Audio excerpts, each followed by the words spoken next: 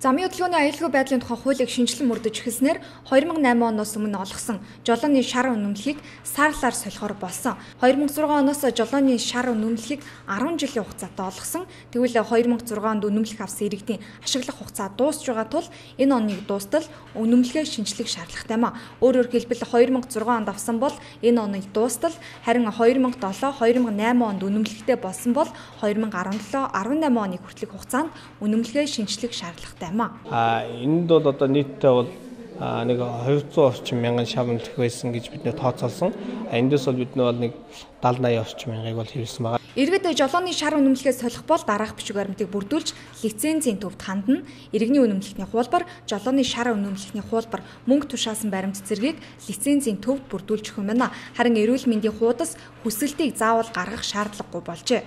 Жолооны шар үнэмлэх солиход олон бичиг баримт бүрдүүлж олон хоног саатахгүй гэдгийг алтныхан сануулж байна. Тиймээс иргэд жолооны шар үнэмлэхээ энэ ондоо багтаж солиулах шаардлагатай гэдгийг санууллаа. Дашрамдуулахад хэсэг хугацаанд саатаад байсан жолооны үнэмлэх хэвлэлт өнгөрөх өгч даваа гаргаас эхэлжээ. Хэвлэлт бол одоо энэ нэгтгэс бол эхэлсэн.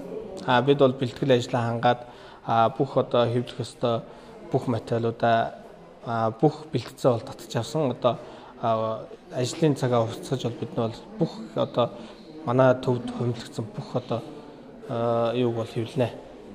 Одоогоор лицензийн төвд 40 орчим мянган жолооны үнэмлэх хэвлэлтэд хүлээж байна. Мэргэжилтний мэдээснээр лицензийн төвийнхэн бүх бэлтгэцээ авсан учраас ажлын цагаа уртасган жолооны үнэмлэх хэвлэж байгаа гэлээ. Өдөртөл гэхэд 500-аас 1000 жолооны үнэмлэх хэвлэж байгаа юм байна.